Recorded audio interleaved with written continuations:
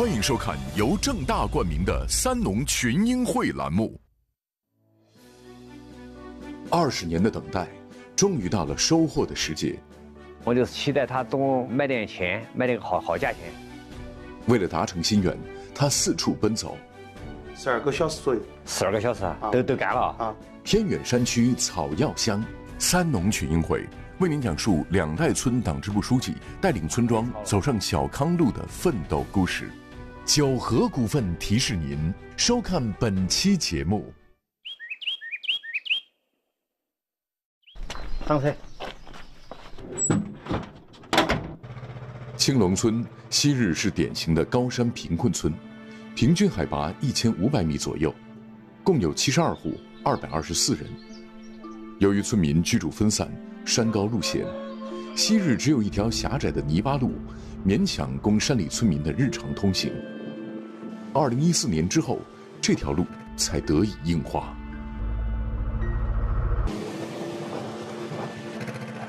山路陡峭狭小，曲折向上。越往上越难行。忽然，前方一辆铲车挡住了去路。梁王子，你把前面那个路穿一下。呃，穿了明天好拉那头的哦。这边路有点不通，这儿呢哦，慢慢点，注意安全。啊。原来这条上山的路是一个多月以前刚刚打通的，为的就是即将进行的大事。已经一个半月了，两台机器我挖通。现在留了一台中中机呢，嗯，前面的路还不行，还要维护一下。哎，我就是期待他多卖卖点钱，卖点好好价钱。到底是什么大事，值得让他们如此大费周折、耗时费力的开路前行呢？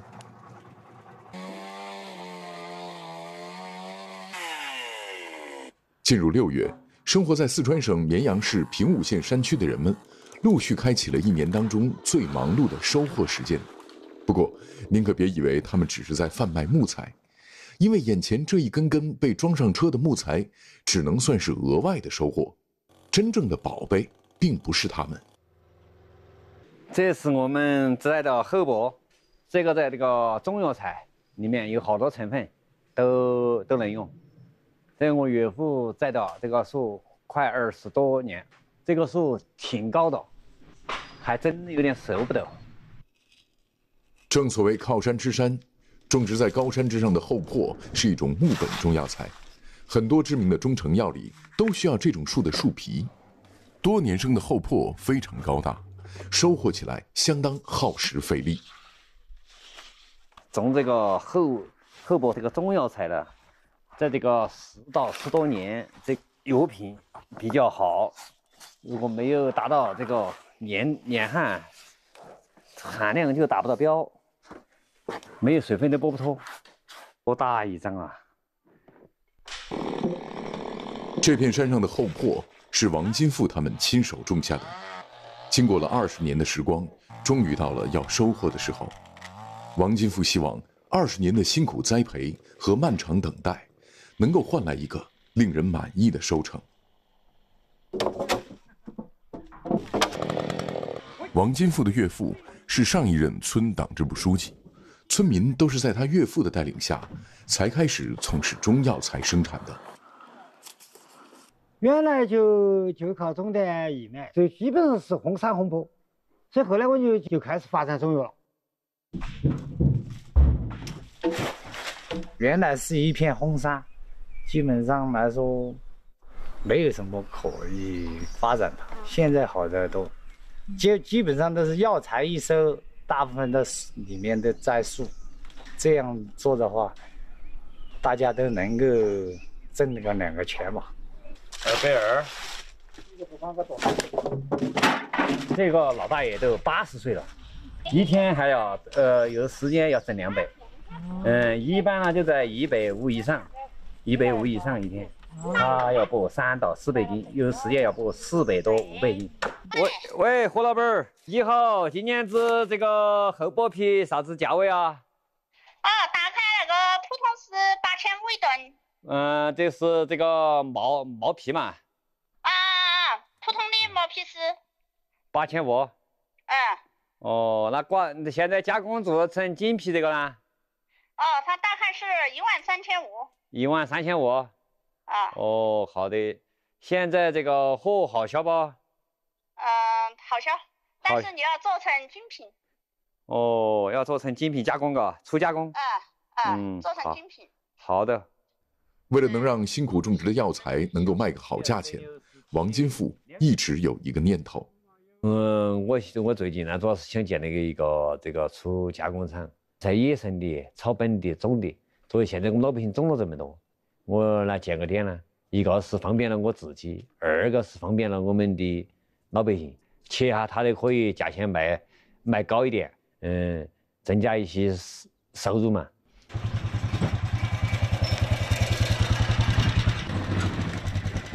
哎，在不的啊？啊，在屋里。等你这么两天了，我说红梅皮捆都打好了哎，要请你帮我销售啊。嗯，行，我就是过来看看。这个皮子还挺厚的，嘎，也挺厚的。这这皮子好，嗯，二十多年。二十多年，嘎。好嘛，那我你卖给我，我我帮你把这个销售了，哦。嗯嗯，好嘛好嘛。嗯，那我就按市场价嘛，嘎。嗯，我给你收购了，好，帮帮你销了嘛。嗯，对。啊，呃，我买到起都还要还要有。出加一道工，还要把它弄那个蒸汽，把它蒸趴，蒸趴过后来切切成丝。尽管自家的收获已经让王金富忙得不可开交，可村里的劳动力少，老年人又多，所以他还要抽时间帮助其他村民。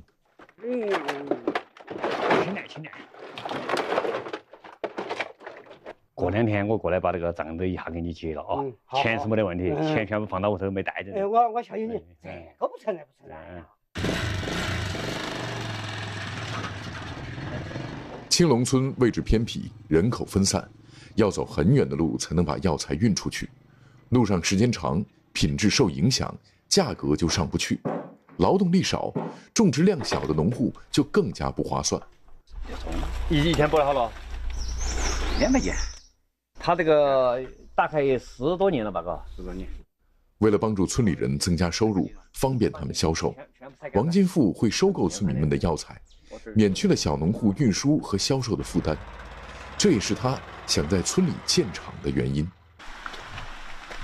上山去找我岳父，嗯，他因为经当了那么多年的老干部，看事情比较稳。老岳父陈泽厚是青龙村的上一任党支部书记。王金富有什么拿不定主意的时候，总是喜欢去找他商量。老党支部书记从岗位上退下来以后，闲不住，在山里弄了个养蜂场。由于位置偏僻，很多路段只能依靠步行，沿途上可以看到各种中草药。这片山应该有这个中药材有几十种嘛，每一个季节它都有不同的嗯产产品收购。这是我们种的云木香，这个东西最贵。这个因为发到那个广州啊，都是一两百块钱一斤。这这是我们这个野生的党参，这是黄白。绿水青山，我们这个就是金山银山，有这个就是金金山银山了。这都是我们人工种植的大红，在上要三年收获，因为在九月九月到二三月份都可以收获。每种中草药都有特定的收获时间，每年的六七月份，村民们主要是收获如厚朴、黄柏、杜仲等木本类的中草药。因为种植种类多，所以只要肯干，几乎一年四季都有收入。这你看咋这？可以有一百七八万。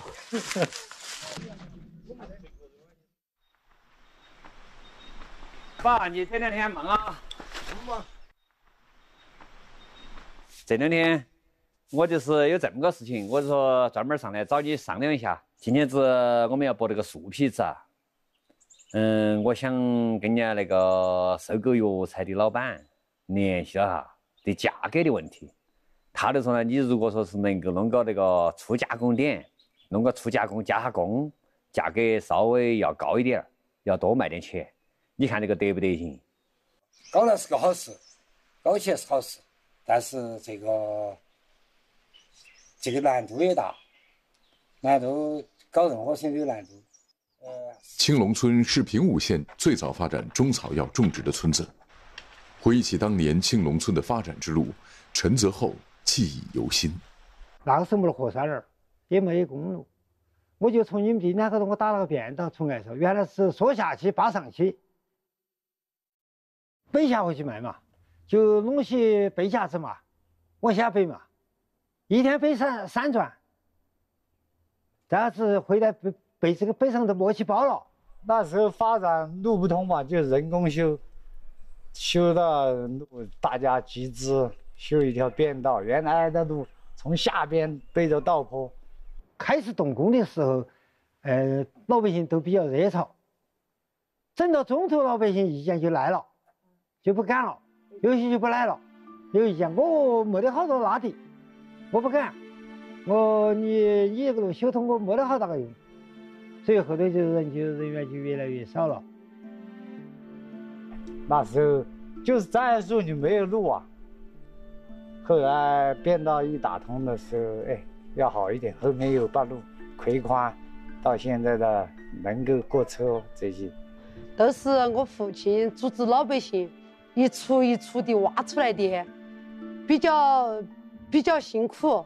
老百姓呢，有些老百姓理解，有些呢他不理解。就这条三点九公里这个水泥路，嗯，暗化，嗯，我们有九百米是经过下面这个村的，下面的村要从那儿过，老百姓天天堵，天天闹，头疼呀。正因为深知岳父一路走来的艰辛，王金富才不愿当这个村党支部书记。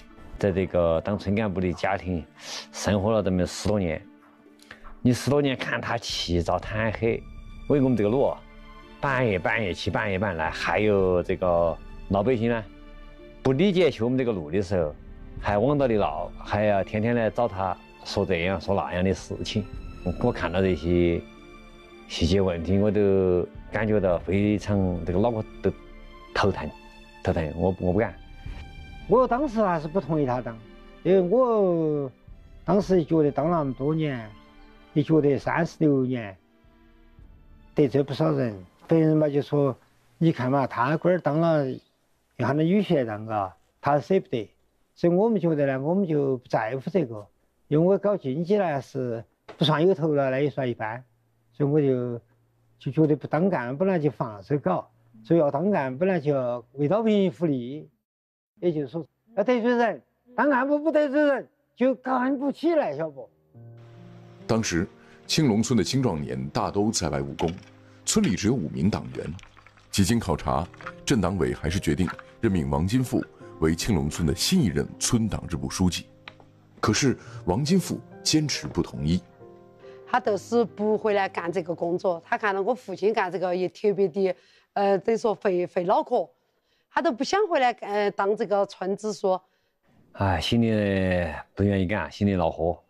因为作为我们的文化，现现在的现在的工作不好整，我们整的要整实际的，要对老百姓呢，我们要做点实打实的事情，要搞点发展啊这些。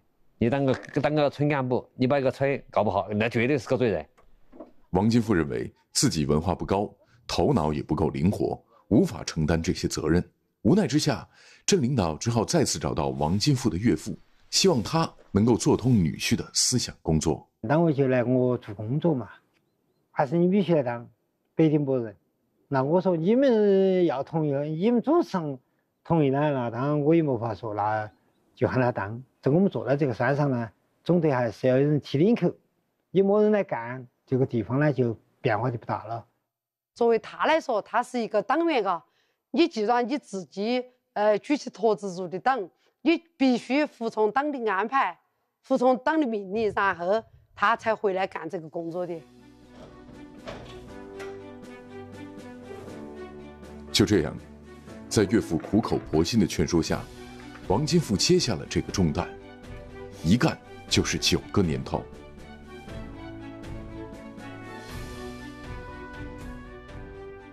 我们去学习一下，学习看一下嘛，边看边学习一下。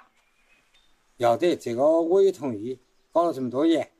呃，把这个厂建起来，我也支持这个这这这个事情。青龙村山多地少，要想建加工厂，谈何容易？场地、资金、人力、技术都是问题。没有经验，没有场地，加工厂的筹建问题重重。要那么多钱，你哪里有钱？山高路远，偏僻的小山村如何走上产业发展之路？请继续收看《三农群英会》节目。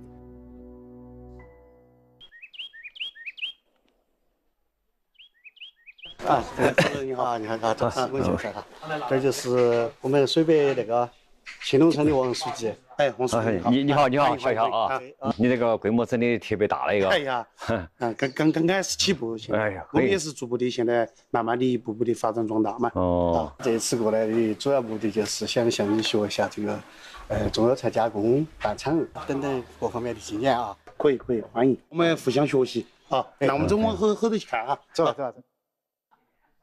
这个中药材加工厂的规模和技术，在平武县都是数一数二的，让王金富好生羡慕。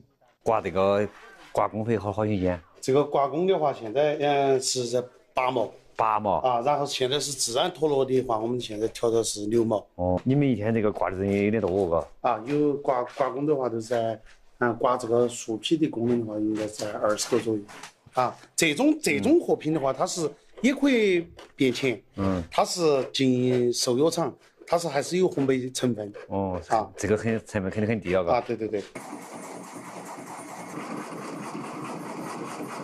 现在现在你们这个加工出来这个皮子卖得到多多少钱一一袋呢？这个？啊，像这种货的话，现在是我们现在销售价格在四十四十左右，啊，一公斤。一公斤嘛？啊，对。哦，我我那天没有没切没切丝，就是直接晒干那一种，那个那个八九块，八九块，嘎。嗯，对。哦，这个是加工过程中，它这个呃有开销出去，然后它的经济价值都也利润都起来了。哦，啊，你这个机机机器，你们是哪种机器切的啊？机器我们就在那种，那那种。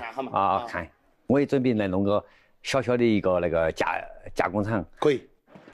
你这个这这个机器，这个加工白皮这个机器，这个多少钱一台啊？嗯，去年我去年我们买回来这个是投四万八一台，四万八。钢铁涨价的话，现在都在五万多。五万多。哎，我们每天出回来的鲜货，基本上，呃，就这一台机器，它都可以全部切成半成品出来了。哦，这个机器它的操作是相当简单的。嗯，它这个呃，现在药店的标准，它的呃药品的宽度几几乎都是在零点八的宽度。零点八。然后现在调这个刀口的宽度，主要是在这个方位。哦。嗯，这个把手。哦。嗯，这个把手下面它有个嗯调宽度的，我们要左右移动，就是宽度的调回来。但这个把手它主要用于的是前后倒退。嗯。机器的原料是从这个口子进去，然后出来就成半成品了。哦。过去。由于不懂药材的生产加工流程，村里人大多只是将辛苦收割回来的树皮简单捆后就直接卖了，价格低不说，质量也没保障。现在虽说已经可以进行简单的粗加工了，但是方法还是不够先进，比如晾晒药材就非常受天气的影响。回你这个烘干房有点挺大的一个啊，这后头。主要是就是鲜活加工，嗯，鲜活在一万斤，出出来的成品在三吨。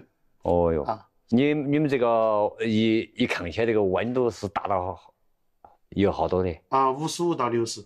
这个药品的话，你看，如果我们在加工这个过程中，在二十四小时以内加工，它这个药品里面的是没有霉变的，嗯，在药检高头红曲霉素是永远不会超标的。嗯嗯。王金富在仔细的询问完他关心的每一个生产加工环节后，做出了一个决定，请你帮下忙，帮我发一台这个机器。可以，我也准备来弄弄个加工点。我我想订台最最小的，像我那个是切不到好多的，最小小点的，不要这么大型的。可以，那就订一台，呃，一天的出产量在呃五千斤左右的。哦，这个钱呢，也就在这个两三万吧。我想找那个老百姓来集资，也不太可可行。我在想，他有点怕亏本儿，我先把建起来。回到了家，王金富并没有说他已经订购了机器，而是和爱人商量，想自己出资。我想我有这么个想法，我们商量下一家人。反正我跟老汉儿呢也摆过，我们这儿来弄个加工哦，你看要不要得？加啥子工哦？就卖活皮在撇脱些。我今年身体又不好，我不想加工这个，好累哦。我妈那儿又那么大年龄了。那不是说你身体好不好了，你不。作为前任村党支部书记的女儿，现任村党支部书记的妻子陈华，比任何人都了解村里工作的难处，所以她不同意丈夫建加工厂。肖金峰他们那个大机子，大型的四五万块钱，三四万的；这个小型的，你像我们这个地盘小，小型的要好多钱？你有钱吗？嗯，将近几千块钱，几千块钱那没得了。几千块钱嘛，借嘛要借点嘛。我们还卖那个草本药材啊，还剩了两个钱，也拿出来，就买那个机器应该是没得问题。陈华的顾虑不无道理，村里建工厂，自家既要出钱，还要出力。可即便再不情愿，最后陈华还是勉强同意了，由自家出资购买机器。那你弄啊？你弄肯定是弄，弄嘛等我们商量下嘛也。商量，反正我们一家人吃饭，天然长动，你一人。你说了算，你说弄的我们都试下嘞。那个不是啥子我说了算，你说了算，这个事情。购买机器的钱有了，可这厂要建在哪里呢？这里山多地少，想找块合适的场地，难度可是非常大。现在这个土土地啊，像这个平地，这个在红线之内是一般是不得配的。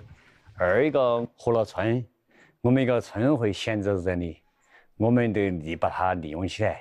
都集体经济也有了，嗯，这个厂子用利用起来了，嗯，加起我们这个当地老百姓呢，嗯，也就是打点工啊、小工啊这些都有活干了。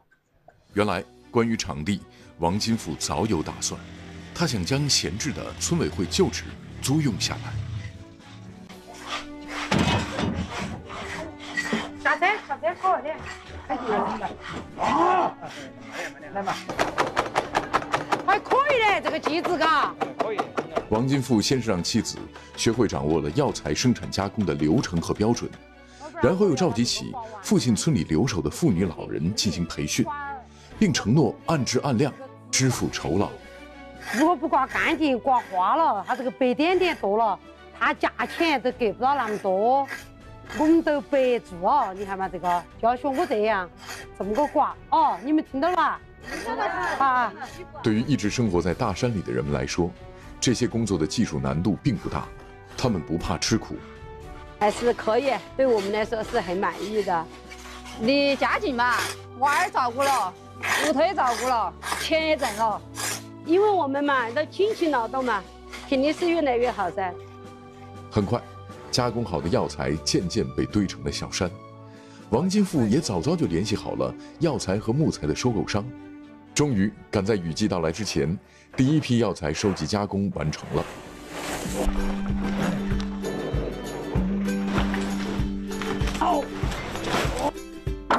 这是王金富和村民们第一次将加工好了的药材卖出大山，虽然过程不易，但他们还是非常高兴。还是有点高兴嘛，能今天把这个货卖了，能卖到几万块钱今天。今天这一车货呢，大概就是六万，六六万块钱。去。